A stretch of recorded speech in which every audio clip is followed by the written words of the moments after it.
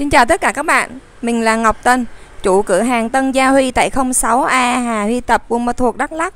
Hôm nay mình giao một đơn hàng gồm 5 món phụ kiện cho aerogon cho khách hàng tại Hòa Thắng, Buôn Ma Thuột là kệ son nồi và kệ bát đĩa 80, thùng gạo, à thùng rác 30, dao thớt 30 và kệ chén đĩa cố định tủ trên 80 Khách hàng sau khi so sánh các sản phẩm của Eragon, Redari và Remani VN thì đã lựa chọn sử dụng toàn bộ các sản phẩm của Eragon.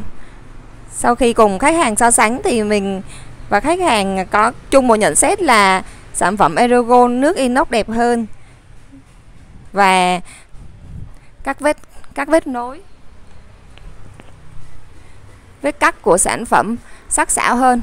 Đồng thời là thiết kế của Aerogon thì tiện ích hơn cho người sử dụng. Hãy đến tham khảo mẫu tại 06A Hà Huy Tập.